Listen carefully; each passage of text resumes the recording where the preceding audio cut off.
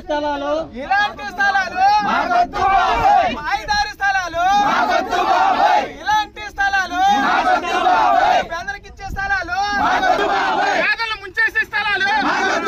పేదల జీవితాలు పాడు చేసే స్థలాలు పేదల జీవితాలు పాడు చేసే స్థలాలు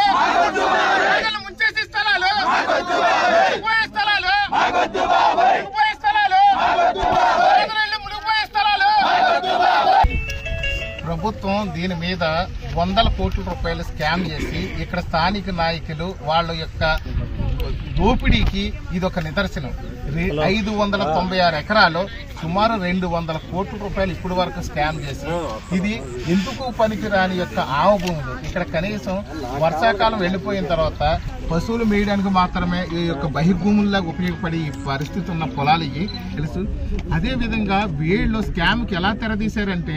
ఇక్కడ స్థానికంగా ఉండే ప్రజలకు కానీ స్థలాలు ఇస్తే ఇక్కడ ఈ స్థలం యొక్క విషయం అంతా తెలుసు. దీని యొక్క ఎంత లోతు మునిగిపోతుందో తెలుసు.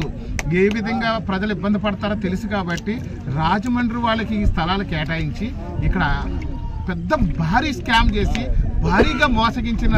ప్రదేశం ఇది. ఇక్కడ లక్ష మంది సుమారు జీవించడానికి ఇచ్చిన స్థలాలు కనీసం వీళ్ళకి వందల కోట్ల రూపాయలు స్కామ్ చేసి లక్షల మంది ప్రాణ నష్టం జరిగిన మాకు ఏ విధమైన ఇబ్బంది లేదు మా గవర్నమెంట్ మారిపోద్ది. రేపు వచ్చే ప- గవర్నమెంట్